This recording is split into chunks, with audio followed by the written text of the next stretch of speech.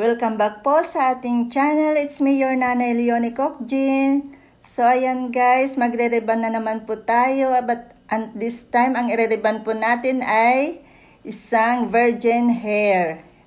Opo, ngayon lang daw po siya magpapa-reband. Ang video po na ito sa ating pagre-reban ay para po sa ating mga kasamang beginners. Sa mga magre-reband o bagong nagre-reband pa lang. Sana po ay makatulong po ito sa inyo. At ang gagamitin po nating gamot ay ang Biokeratin Silky Straight. So, ayan guys, hindi po siya creamy, may, medyo may pagka-labnaw po siya. Pero hindi po siya ganun kasangsang ang amoy niya. Ayan. Pinart ko na po ng apat na section ang buhok ng ating client at mag-start na po tayo sa ating pag-a-apply. Sa ating pag-a-apply ng gamot, cream number 1 ay lagyan po natin lahat. I-make sure natin na evenly distributed ang paglalagay ng gamot sa buhok ng ating client. I-massage-massage po natin para maganda ang magiging kalabasan ng ating pag-reband. Section by section po ang gagawin nating pag-a-apply ng gamot number 1.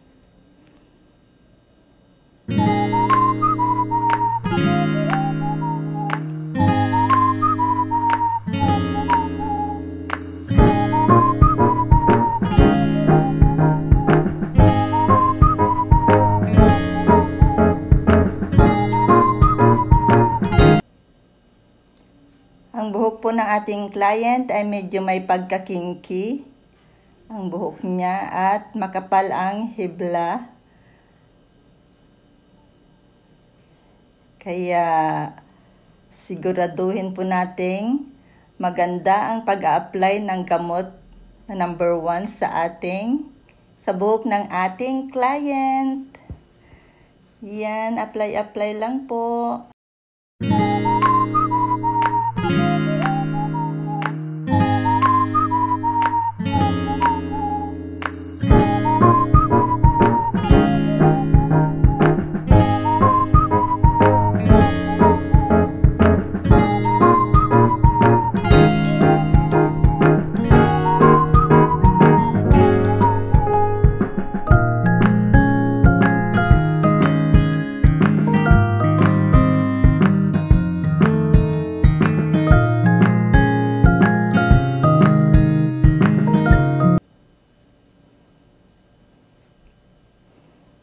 So, ayan na guys, na-applyan na po natin lahat ang buhok ng ating client ng cream number 1 at ibabad po natin ito ng isang oras or 1 hour or hanggang maluto po ito. Dahil sa virgin hair po siya, medyo matagal po ang pagbababad natin at makapal din po ang hibla niya.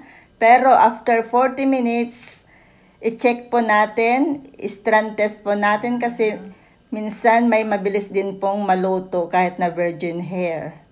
So ayan, strand test po natin. I-make sure natin na talagang naluto po siya para iwas po sa pagka-back job or pagkaulit sa pagriban sa ating client.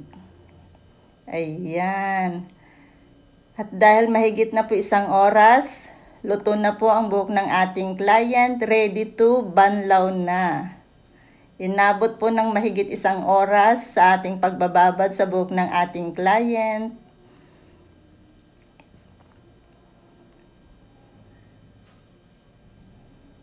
Ayan na guys, after mabanlawan ng cream number 1, yan na po siya.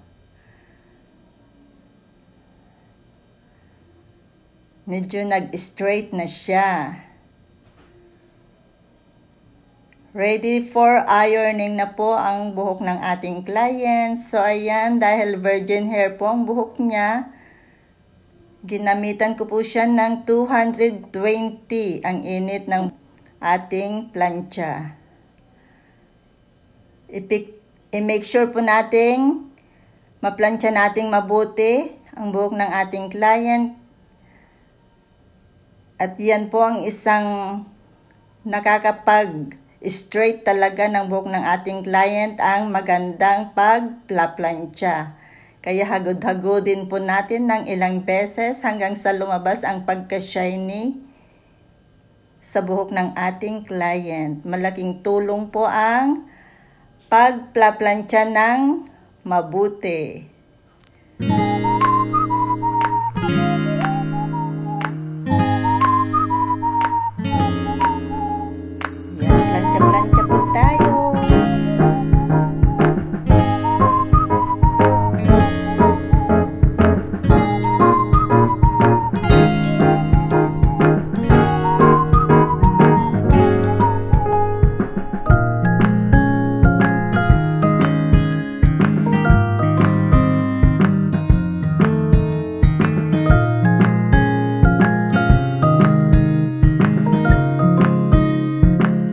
dapat po manipis lang po ang kukunin nating plaplansyahin sa buhok ng ating client.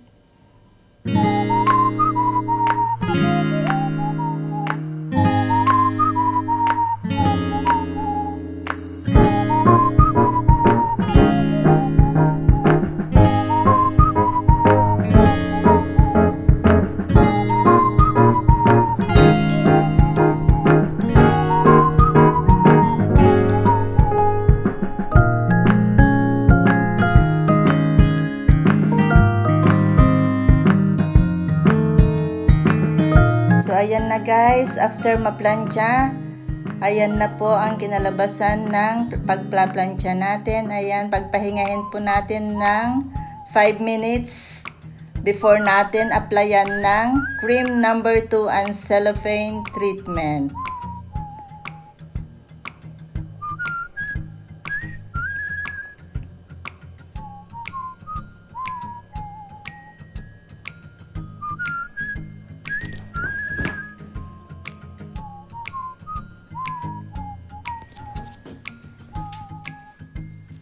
Ayan na po ang cellophane treatment.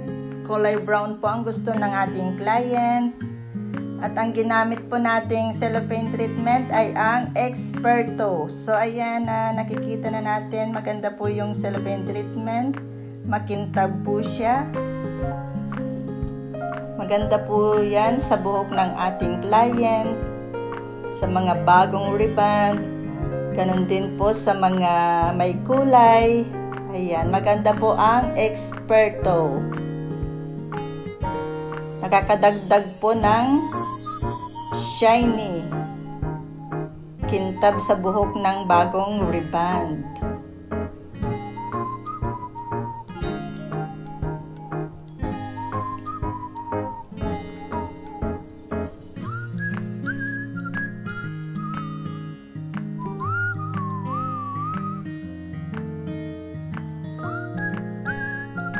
Kaugalian ko na po na kung nagre-reband po ako ay hinahalo ko na po ang cellophane treatment para dagdag ganda pa rin po sa buhok na ang ating nire-reband.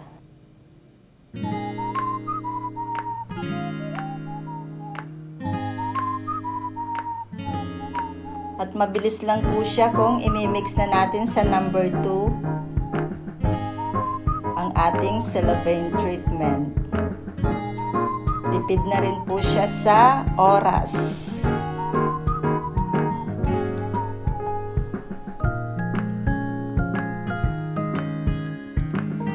At ayon po sa lagi kong sinasabi, pag nag-apply po tayo ng cream number 2, unahin po natin lagi sa tuktok sa ibabaw.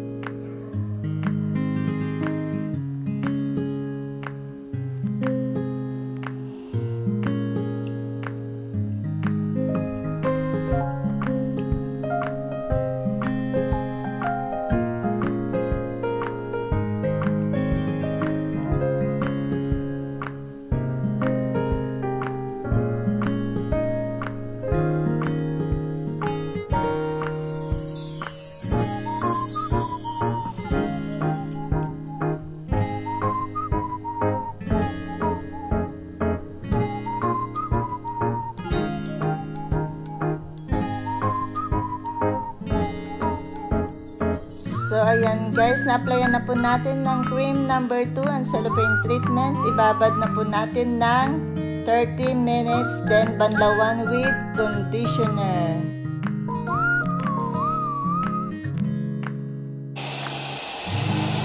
So, ayan na guys, after mabanlawan, ayan, i-blower na po natin at habang i-blower po natin ang buhok ng ating client, make sure na hindi po tayo gagamit ng ano, brush or supply.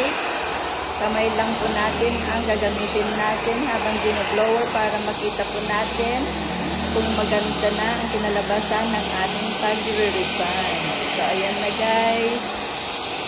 Maganda po ang kinalabasan ng ating pagre-reband for today. Ayan, ang shiny at straight na straight po siya. Ayan, after ma-blower, Then, pasadahan na lang po natin ng konting plancha. Ayan. Final ironing na po tayo. So, ayan na guys.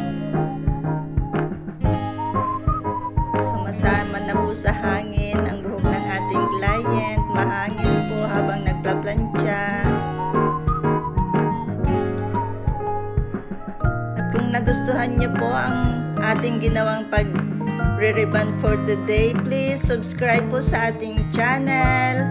Maraming salamat din po sa mga patuloy na sumusuporta sa iyong abang lingkod. Maraming maraming salamat. Sana patuloy niyo po akong suportahan.